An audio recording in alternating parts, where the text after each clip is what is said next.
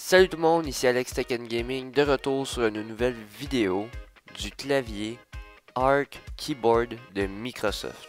Ça fait déjà un moment que je possède ce clavier et pour une fois je peux dire que Microsoft ont fait un très bon produit. Le clavier est compact et a une très grosse autonomie de batterie. Ce clavier possède des batteries 3A. Pour être plus précis, deux batteries 3A. Et ce clavier est assez impressionnant pour le nombre de fonctions qu'il y a pour un aussi petit clavier compact que ça. Pour commencer le clavier, il s'allume en maintenant FN et la touche échappe.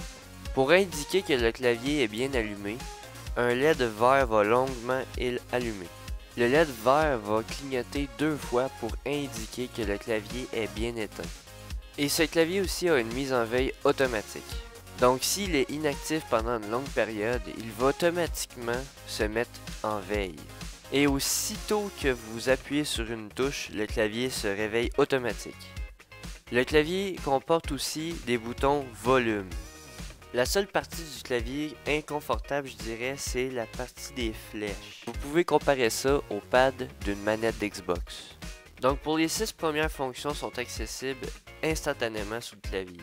Mais si vous voulez appuyer sur les autres fonctions, de F7 à F12, vous devez appuyer sur FN pour aller chercher la fonction.